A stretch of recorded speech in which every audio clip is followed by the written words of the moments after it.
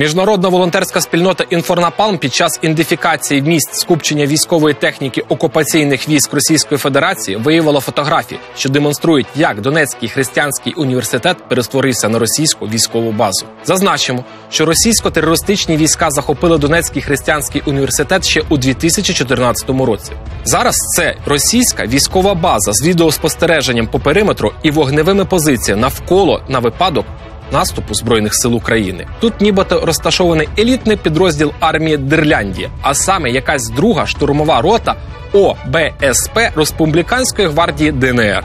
Але ми трошки відволічимося від основної теми. На цій же базі помітили багато бойовиків з підрозділів П'ятнашка, Чебурашка, Буратіна та інші вигадані персонажі. Очевидно, в окупаційних військах Росії на Донбасі з кожним двох-трьох бойовиків створена окрема рота, бригада та батальйон. Отож, перелічувати ці так звані підрозділи російських терористичних військ, а тим більше намагатись побудувати якусь їхню структуру і вертикаль підпорядкування, просто немає сенсу. Це просто зграя терористів під керівництвом Кремля, а їхніх назв підрозділів скоро стане ще більше ніж самих бойовиків на Донбасі. Проте, якщо українців не вводять в оману постійні зміни назви груп бойовиків і тактичні знаків на їхній техніці, то ляклива Європа плутається в назвах і може знову висловити стурбованість фактом появи, нібито нової російської техніки на окупованому Донбасі. Не слід забувати, що це просто ще одна спроба Кремля віртуально наростити свої окупаційні війська і залякати всіх. На фотографії, яку ви бачите на екрані, видно тактичний знак 55 трикутника, а на іншому ми бачимо частину тактичного знака ромб. Тобто в одному місці стоїть військова техніка з іще незміненими та уже новими тактичними знаками. У реальності кількість техніки не змінилася, а от віртуально на папері військової техніки стало більше. От про цей фокус і йшла раніше мова.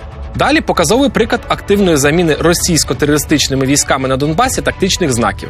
На сфотографованій одиниці техніки 5 у ромбі ще не до кінця замінено на 55 у трикутнику. Ось ще кілька фото з технікою. Місце зйомки дуже добре видно в сервісі Google. Перегляд вулиць. Ще кілька колективних фото цього так званого елітного підрозділу в Донецьку. В інтернеті він у повному складі помічений на відео під назвою Донецьк урочисте вручення бойового прапору елітного підрозділу армії Дерляндії. Трохи фотографій з приміщень колишнього християнського університету. Тепер це казарми російсько-терористичних військ. Особливо ми хочемо відзначити російського терориста найманця з кличкою Малой який надав нам основний набір фотодоказів для цього випуску. Ми дуже хвилюємось і сподіваємось, що після виходу цієї програми із ним нічого страшного не станеться. З нетерпінням чекаємо на нові цікаві фото. Завдяки цьому ж таки малому ми з'ясували, що важку військову техніку в цей елітний підрозділ ховає від ОБСЄ в промзоні за півтора кілометра від бази. Ось, наприклад, ви бачите фото військової техніки російсько-терористичних військ на заводі виробництва збірних залізобетонних конструкцій. Це тільки ззовні, а уявіть, скільки всього заховано всередині виробничих приміщень. Якщо уважно придивитися, то на одному з танків видно один з перших тактичних знаків багатокутник з римською цифрою 7. Так Росія позначала техніку, перекинуту на Донбас.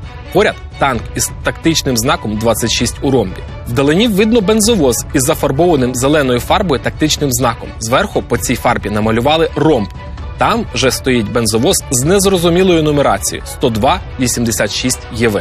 В друзях у терориста по клисці Малий виявили військовослужбовця 49-го кулеметного артилерійського полку Збройних сил Російської Федерації Юрія Ісаєва з Казані.